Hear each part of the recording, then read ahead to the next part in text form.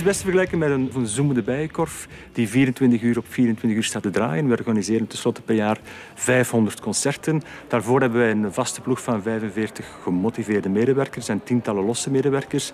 En die zorgen ervoor dat zowel het publiek als de artiesten in optimale omstandigheden een perfecte concertavond kunnen beleven.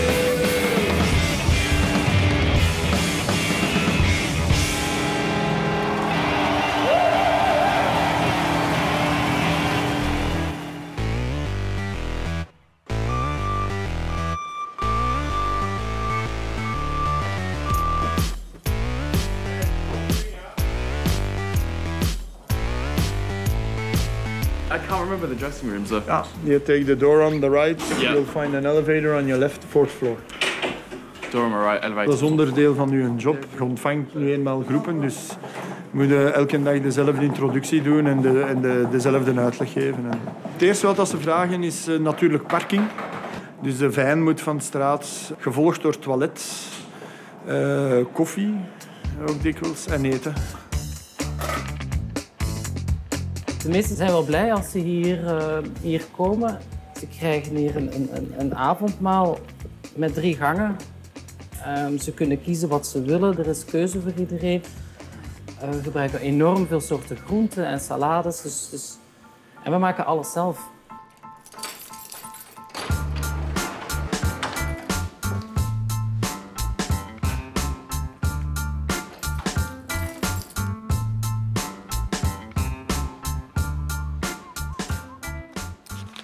Dat is een Technical en Hospitality Rider. Daar staat alles wat wij moeten weten over de productie van de dag. En het is in feite zijn alle eisen van de groep. En dus voilà, vandaag wat hebben wij nodig? Ja, een liter good quality whisky, eh 12 draft Guinness, 12 corona's, rode wijn, cola, diet coke enzovoort. Niks bijzonder, niks eh, ongelooflijk. à la, Iers bijvoorbeeld, die eh, condoms, een witte beren, handboeien en zo vragen. Je voelt eigenlijk niet echt een verschil in de genre muziek in de rij. Dat heeft meer te maken met de genre mensen. Want eh, vandaag is bijvoorbeeld Opets is de metalgroep, maar het zijn ook eh, het zijn men- mensen die heel veel concentratie hebben om te spelen. Het zijn echt goede muzikanten. Die mensen die het meestal ladderzat op het podium komen, zijn niet echt de goede muzikanten. Voilà. We zijn rond voor de loge van Opet. We gaan dat installeren in hun loge.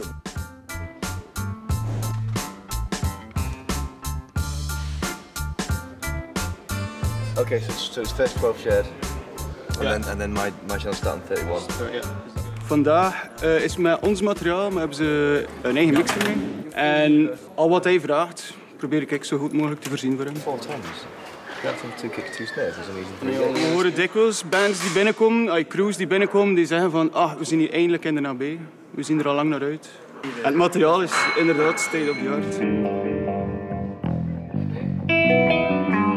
Ik heb de indruk dat er wel een AB-stempel kan geplakt worden op wat we doen. En dat de mensen dat appreciëren. Het, eh, het is ook zo dat veel mensen graag in de AB willen staan, want dan hebben ze eindelijk in de AB gestaan. Dat blijft toch wel een norm.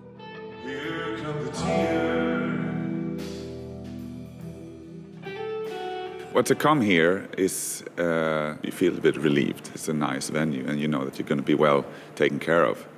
And there's going to be a shower, and there's going to be a toilet, and there's going to be food, and there's going to be a good show. And it's just a pleasure, you know.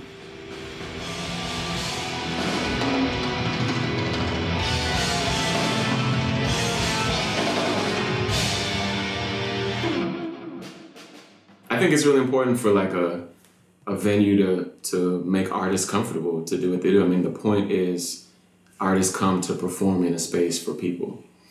And I feel like a lot of venues don't get that fundamental truth, but AB really does. just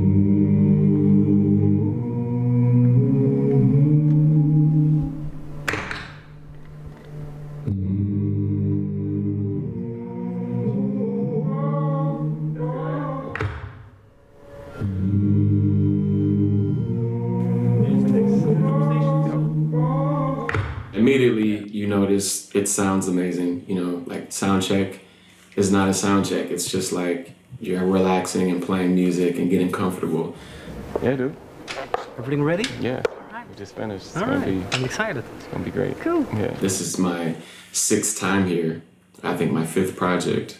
And every time, you know, they tailor all the amazing resources uh, at the venue to whatever program it is. It's really incredible.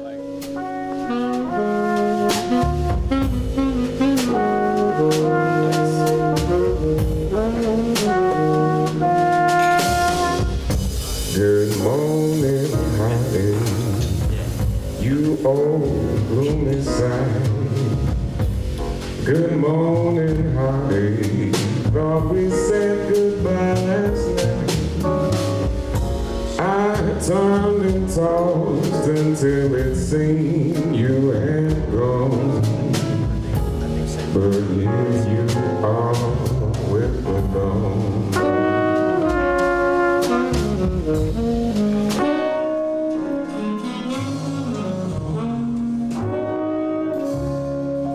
zijn een achttal jaar geleden begonnen met eh, livestreamen. Dus op onze website, dat mensen thuis eh, bij uitverkochte concerten vooral, dus het concert nog mee konden volgen van achter hun eh, pc. Dus ik maak nu presets. Dat is straks gemakkelijk voor, voor cuts te maken. Dus ik heb nu op camera 1 links op het balkon. Center shot, eh, close van, van José. Piano, piano close. Bas, drum. En de blazersectie. Vandaag gaat dat meevallen, omdat we natuurlijk met een redelijk statisch gegeven zitten. Het is nogal rustige muziek. Muzikanten die, die verwisselen niet echt van plaats of zo. Vorige week heb ik Tof van Commercie gedaan, bijvoorbeeld. Eh, dat is iets moeilijker. Twee gasten die heel de tijd, maar het concert van begin tot einde naar alle hoeken van het podium gaan, dat is echt wel eh, werken om ze te volgen.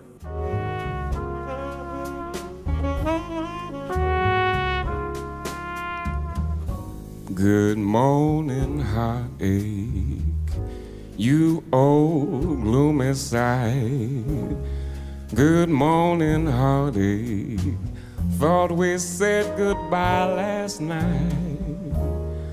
I turned and tossed until it seemed you had gone. But here you are with the dawn. Oh.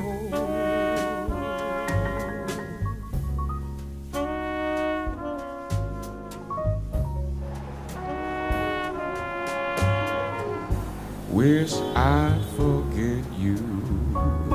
Dat is een complex gebouw en dat is omdat het ingebouwd zit in een huizenblok in het hartje van Brussel. Dus om dat te kunnen inpassen heb je allerlei hoekjes en kantjes aan dit gebouw, wat eigenlijk een heel moeilijk gebouw maakt om je weg in te vinden. Ik ben zelf mijn eerste werkdag heb ik hopeloos staan zoeken naar mijn kantoor dat ik pas met hulp van eh, medewerkers vond. Maar dus ook voor artiesten is het niet altijd gemakkelijk om hier de weg te vinden. Bij deze neem de deur achter de toog. En hier begint dan de rode lijn. Die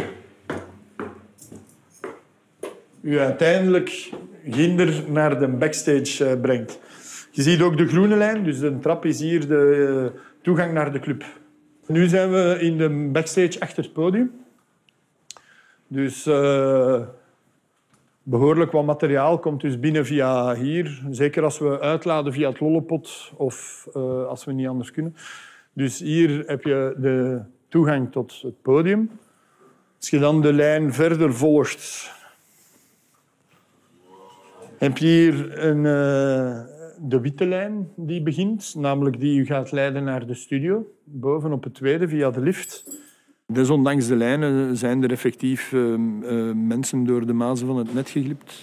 Ik herinner mij de spooks die ik ooit opgesloten heb. Ik denk dat zij de backstage verlaten hebben via de kelder. Eh, en ik dus eh, beginnen afsluiten ben op niveau van de backstage. En alle deuren toegedaan, en denkende dat er niemand meer was. Maar in feite liep ik gewoon bovenin. En dus ja, naar buiten gegaan via de deur van de backstage, toegedaan. En, eh, via de deur van de Nanspach, sorry. Een deur op slot, een pint gaan drinken. Toen dat ik een half uur of een uur later terugkwam, zag ik de spooks op de deuren van de AB zo staan. Let us out, let us out, let us out. Ik de deur open gedaan en gezegd, ja, kijk, sorry, hè, je moest jij maar je lijn volgen. Hè. Kijk, Shit happens. Artiestentoegang voor het podium, stage entrance. Hier komen we in de loges, waar dat ondertussen Alabama Shakes in zit. Dus we gaan een beetje discreet zijn. Maar we hebben hier eh, vier loges met eh, sanitair. Vier douchen, urinoirs, toiletten. Die we meestal aan de hoofdact geven. Achter u is er een production office voor tourmanagement, production management. We hebben hier een uh, ticker gezet om dus het, de lange wachttijden wat te breken. Uh, zodanig dat ze toch nog iets of wat sportief blijven. One, two, one, two, check, check. One, two. Like a ghost, I cannot see your... I haven't been in this room for a while, but I always remember this room being a good sounding room. It is. Because, it, because of all of this. Sorry, Jesse. Um, can you do exactly what you were just doing again for me? One, two, check, check, yeah, yeah, one, two. I didn't know whether Belgium would be very interested in me and whether they'd like the music or not. So we went for the smaller room. So um, I was really excited because I quite like that. I like that it's intimate. I like that it's quite exciting. And I didn't know that whether we'd sell that out. And then it did get sold out.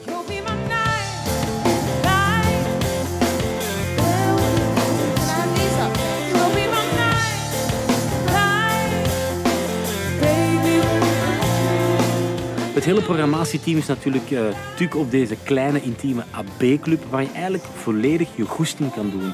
Of het nu noise is of tango, of het nu jazz is of dance. Um, hier kan je eigenlijk alles kwijt op een podium waarvan je denkt van dit heeft een gezicht, dit heeft een bakkes. En hier zit eigenlijk wel een toekomst in. Hoe radicaal of hoe moeilijk of hoe onbekend de muziek ook kan zijn.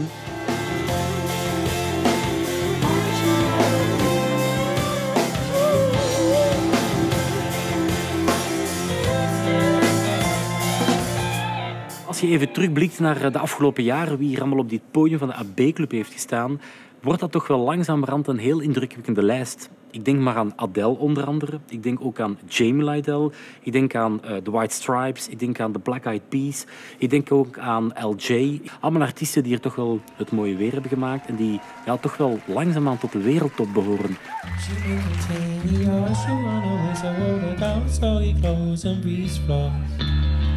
Shivers in your fever, scream me again. Never get sad, so do you ever send a full stars? La, la, la, la. Do you know where the wild things go? They go along the day you're on it. La, la, la, la. We're down and we better breakfast on and see my love, my love, love, love, la, la, la, la. Walk through the mall, selling toe to toe. The beer is grim, but here I go. My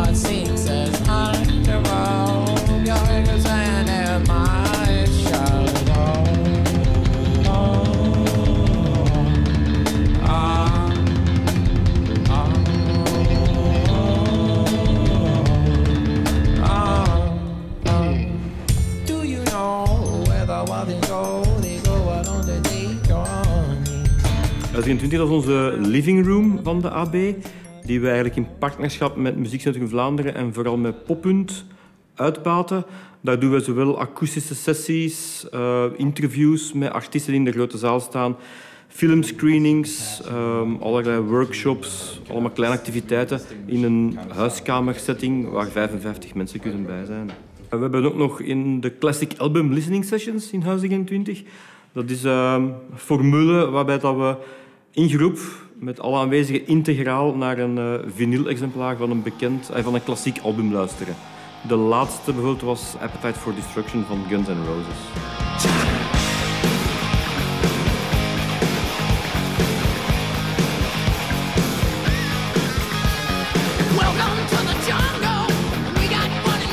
Mensen waren aan het luchtgitaar spelen en aan het headbangen tijdens de sessie.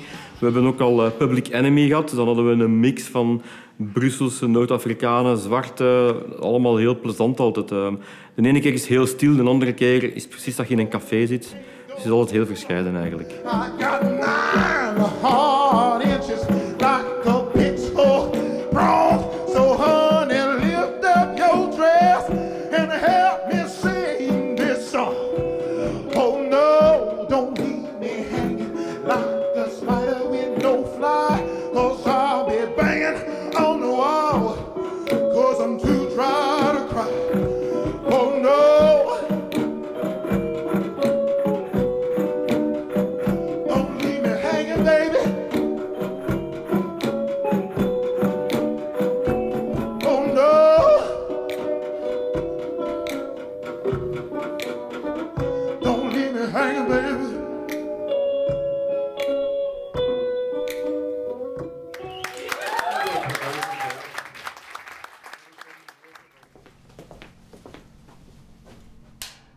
AB Sessions, eh, heel simpel. We zitten in de AB en we zitten in de backstage.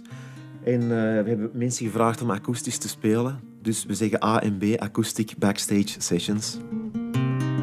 It breaks my heart cause I know you're the one for me.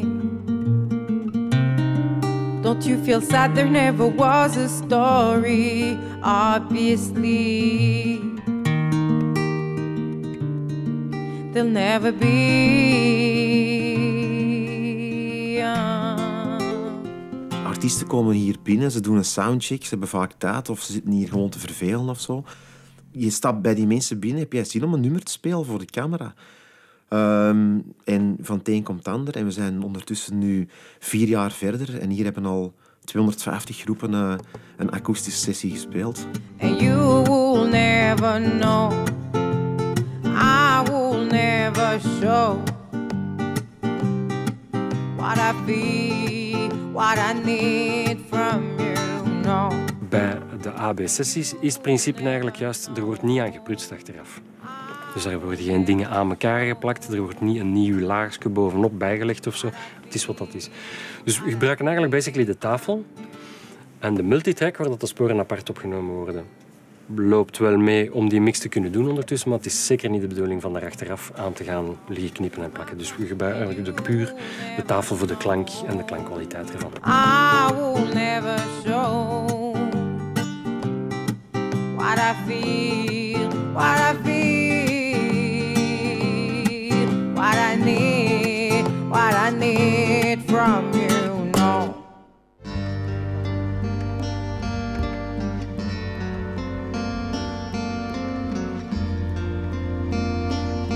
is eh, zeer uitzonderlijk dat een concertzaal een ingebouwde opnamestudio heeft.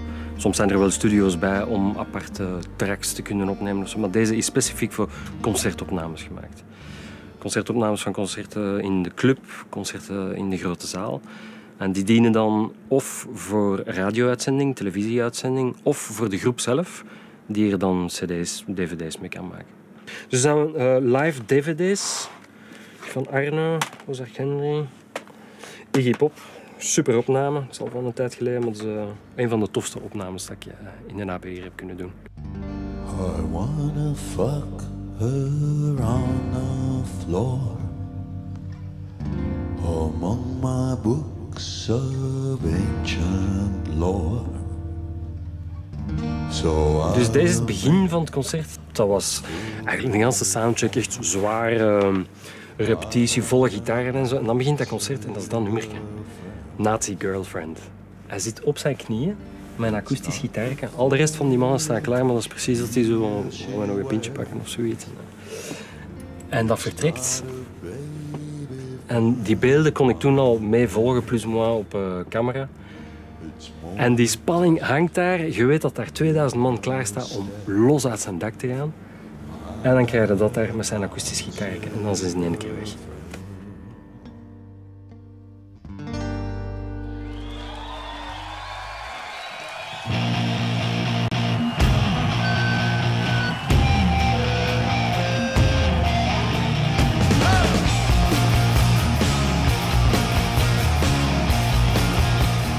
Bij de meeste eh, concerten heb je altijd één spijrenmicro. Voor het geval dat er met de leadmicro iets mis is, dat er dan niet van alles opnieuw geprikt moet worden en die ligt meestal langs de kant. Bij zijn concert waren er twee spijrenmicro's. Oh, nooit daarvoor gehad. Omdat ze zeker zijn van op voorhand dat ze de eerste spijr gaan nodig hebben en misschien zelf de tweede. En dat komt eigenlijk omdat hem ja, dus het is niet alleen laat vieren. Ik denk als je dat in je gezicht krijgt, alsof je een golfbal in je gezicht krijgt. Maar hij laat die ook schoon eens omhoog vliegen en dan terug met je kop naar beneden. Dus ze verslijten doffies per concert twee van die microkoppen.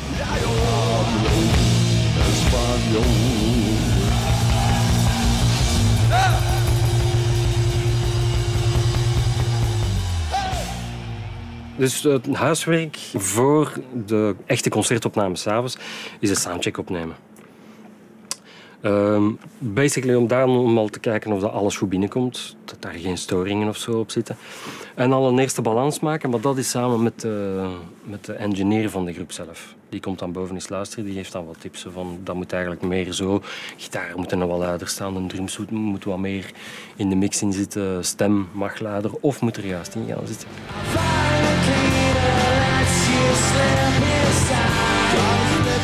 Bij soundtracks in het algemeen is het eh, dikwijls bijvoorbeeld dat er op een ander niveau gezongen wordt dan bij de uiteindelijke opname, als daar de adrenaline achter zit. Bij Oasis waren ze gewoon niet komen soundchecken, dus, eh, dus die mannen komen toe om, om half acht op hun gemakje. Eh, ik weet nog dat ze de, dat Liam toen in de catering eh, zijn nieuwe sloeven dat hij had gekocht is gaan laten zien. Ze van, en dan ja, achteraf podium op. En dan is dat wel even spannend, want dat was live op Studio Brussel. Dus eh, je weet niet wat dat er gaat gebeuren. Hoe zit dat met die zang? Gaat dat erop zijn? Of gaat dat, gaat dat vechten zijn om die er bovenop te krijgen? Want je zit met veel gitaargeweld en zo. Dus hoe valt gans dat, je zit gans dat kaartenhuis in elkaar? kun je eigenlijk niet van op voorhand 100% gaan voorspellen. Dus dat was even spannend. Maar ene keer als hem daar stond in zijn parka met zijn handen achteruit voor zijn 57. Stem gelijk een klok, plat erop en we gaan. Ja, dat was zalig. Oh, no. Which way are we going? Nice to meet you. Right next door. Oh, okay. Awesome. Nice to meet you. Oh,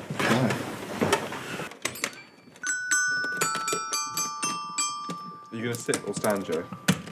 Ah, alright. I'd rather sit. Okay.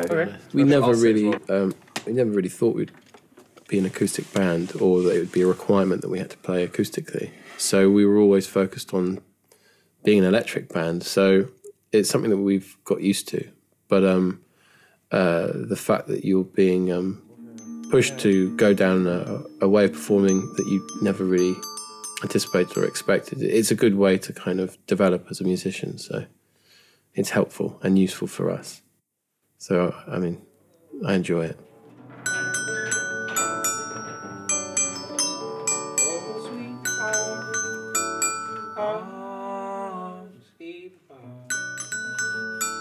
De sessies hebben bepaalde regels, zijnde, het wordt 100% akoestisch gespeeld hier. Dat wil zeggen, we zien wel microfoons, die worden versterkt naar de kamer hiernaast, omdat die wel door een, een mengpaneel gaan, een mengconsole, waar ze gemixt worden. Maar hier in de kamer zelf eh, is geen versterking.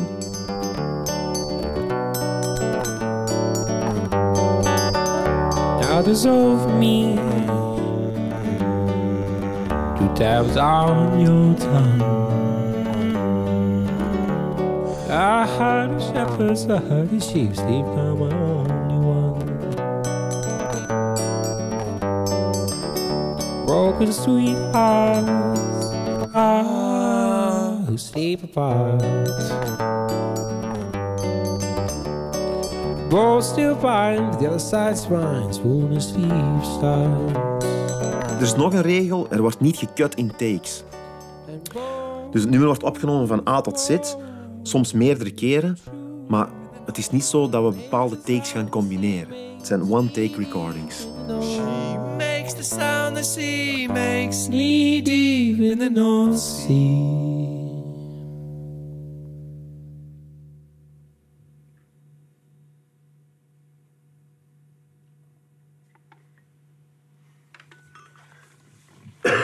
Beautiful, thank you. Yeah, I messed it up a bit. There's a guitar bit. Yeah, I went like that. Would you mind doing another take? Yeah.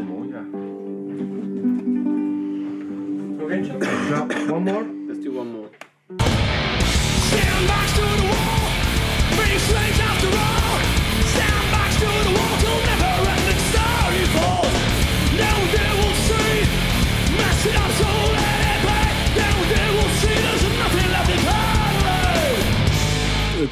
Dat je de AB uitverkoopt of dat je de AB eh, eh, meervoudig kunt uitverkopen in een, in een rij. Dat is natuurlijk een stunt.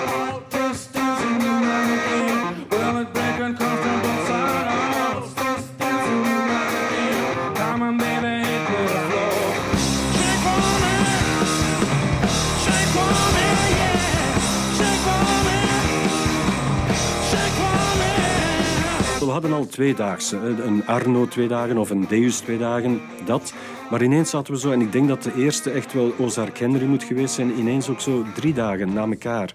En dan had je het fenomeen ook met Selassou en dan Triggerfinger natuurlijk.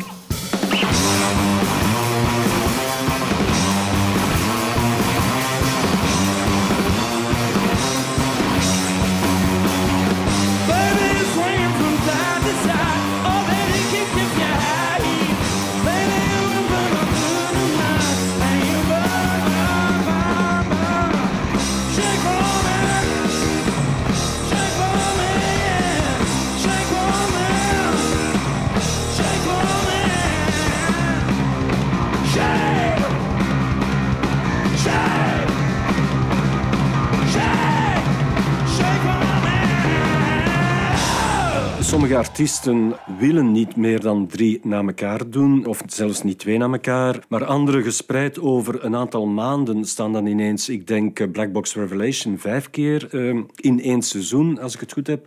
En dan natuurlijk het fenomenale succes van Kurt met zijn Channel Zero. Dat was ineens een bom.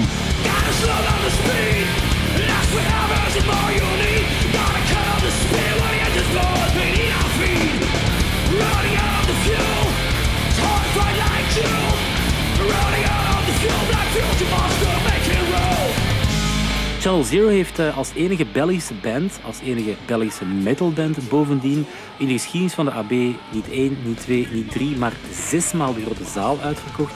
En ja, dat is een absoluut record. Dat hebben we nooit voorheen gezien hier in de AB.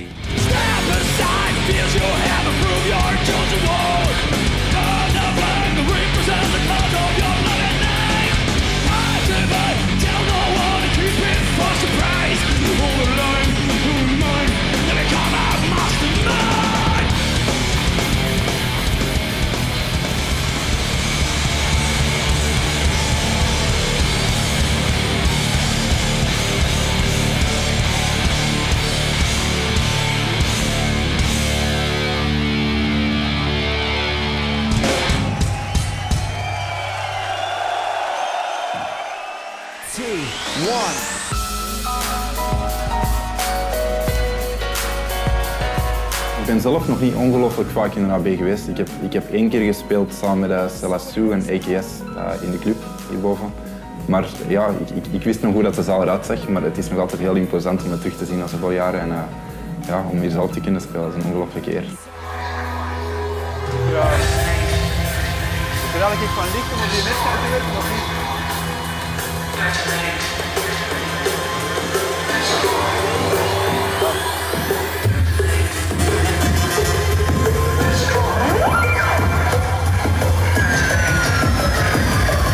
Ik had eigenlijk nooit verwacht dat de show zo snel ging uitverkopen. Ik, ik, ik had gehoopt dat er, dat veel tickets gingen verkocht worden voor de eerste show. Maar uiteindelijk, op één week tijd, is de eerste show zonder een of andere promo uitverkocht geraakt. En dat betekent echt wel dat mensen interesse hebben naar, naar een, een soort live project rond een hele jonge elektronische muziekgenre.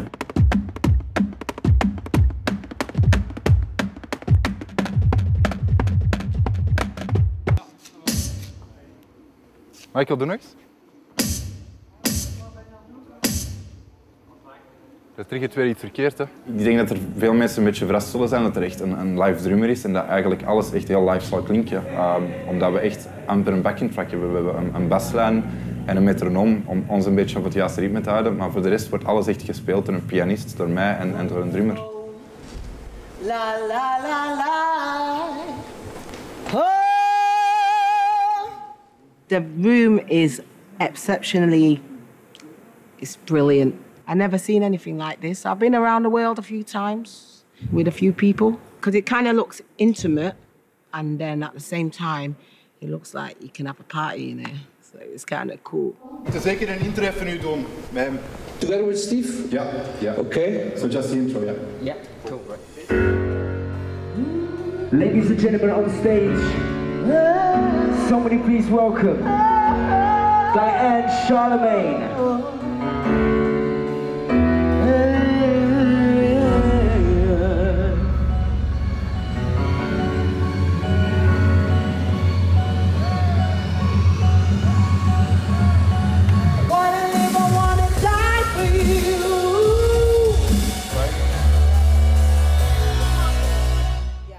Yeah. Th- does that feel natural? That feels natural. Great. It- I mean, it's because I'm used to hearing the melody and I've been listening to it a hundred times. Of course, yeah. Since yesterday, so I've got that in my head.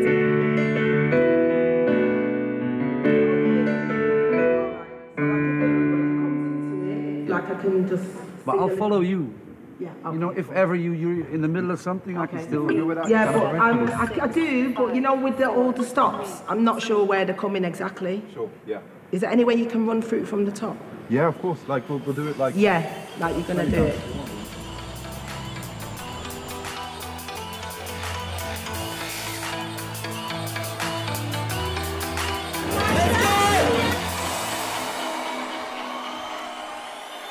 Check it.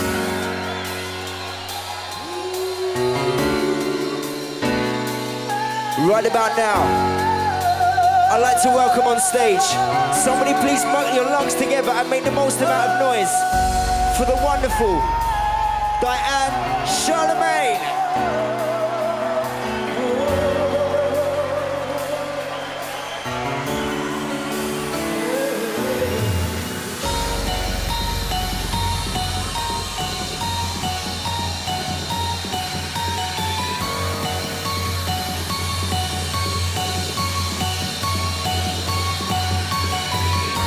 Yo, Busters, are we ready to get crazy?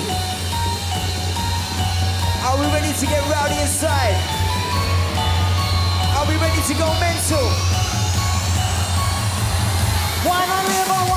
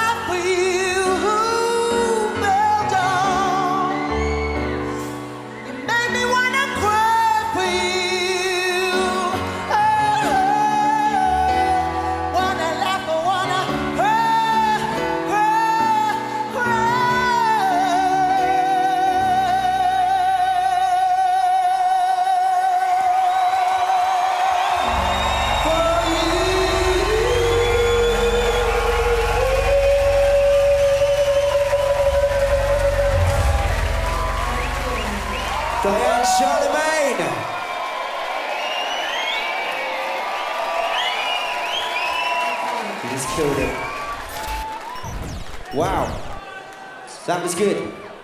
Should we continue?